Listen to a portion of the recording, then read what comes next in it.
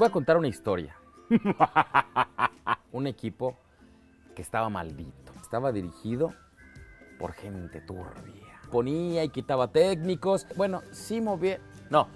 Bueno, sí lo movieron. Movieron al técnico. Desapareció el que de tierras lejanas manejaba todo. Nunca se ha comprobado hasta hoy, o al menos nadie está en la cárcel el hijo del rey, empezó a manejar las cosas y dijeron, ahora sí, el equipo siguió en lo mismo. Pero eso dicen, 19 años prácticamente, no, estoy tan seguro de que haya sucedido. Perdían finales de último minuto con goles del portero, sufrían partido tras partido, hagan lo que quieran. Cuando parecía que por fin iban a tener un regalo para su afición, no, ni así, les daban la vuelta y caían.